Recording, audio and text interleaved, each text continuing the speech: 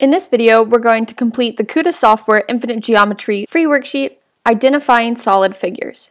Now our directions on this worksheet are to name each figure.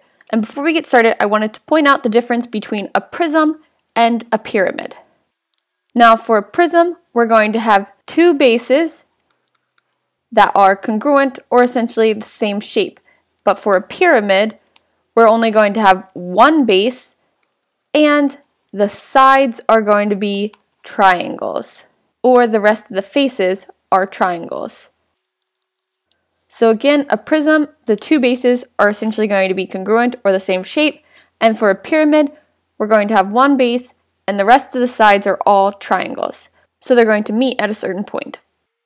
Now number one, you can see that we have a pentagon because we have five sides, one, two, three, four, five, as one base. And if you look, we have a second base that is also a pentagon. Therefore, this is a prism, and since the pentagon is a base, it is a pentagonal prism.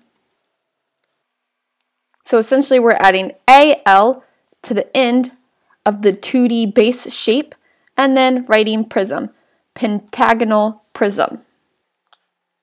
And number two, you can see that all the sides are triangles and they meet at that one point, so we know that this is a pyramid. However, in order to properly name this pyramid, we have to look at the base of the pyramid, which is also a triangle. Therefore, this is a triangular pyramid. And number three, one of the bases is a trapezoid, and we also have another base that is a trapezoid. So we have two bases, therefore this is a prism, and it's a trapezoidal prism. So in the case of a trapezoid, I'm adding AL, and it's a prism. Trapezoidal prism. And number four, this is an easy shape to recognize. It's essentially a circle that's continually rotated around. Think of it as a ball, and the geometric three-dimensional term for that is a sphere. And number five, we have, again, one base is a square and another base is also a square. So two bases, this is a prism, and since the base is a square, it is a square prism.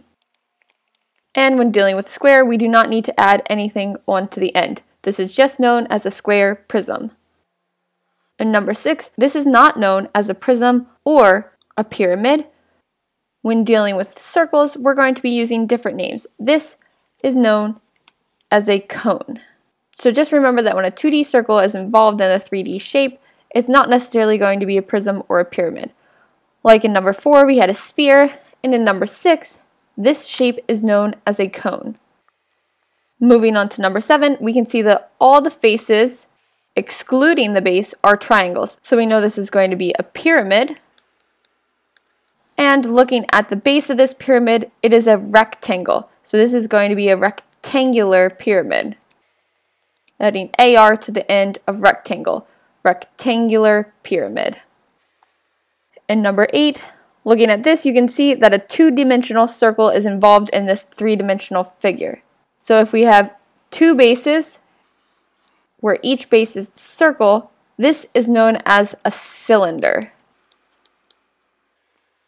Moving on to the second page, on number nine, again we have two bases, and the bases are trapezoids. So we know that this is a prism, and since the bases are trapezoids, this is a trapezoidal prism. And number 10, the faces excluding the base are all triangles, so this is a pyramid. And in order to properly name this pyramid, we need to look at the base, and the base of this pyramid is a square. So this is known as a square pyramid. And number 11, the faces excluding the base are triangles. So again, we're dealing with a pyramid. However, we need to look at the base so that we can properly identify this three-dimensional figure. The base has one, two, three, four, five different sides. So this is a pentagon for the base, so it will be a pentagonal pyramid number 12, you can see that we have two congruent bases, and those bases are both rectangles. Therefore, this is a rectangular prism. And number 13, again, this looks like a ball, and so the geometric term is a sphere. Number 14 is another prism, however, this time the base of the prism is a square.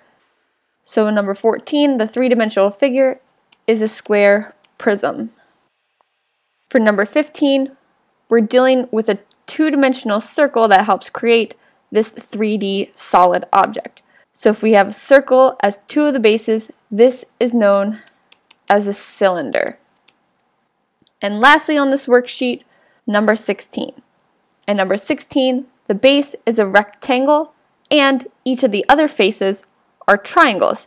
Therefore, this is a rectangular pyramid. And with that, I'll wrap up this worksheet. If you have any questions, leave a comment below. Also, if you need further clarification on classifying solid figures, go to my tutorial section on YouTube. And as always, like, subscribe, and share.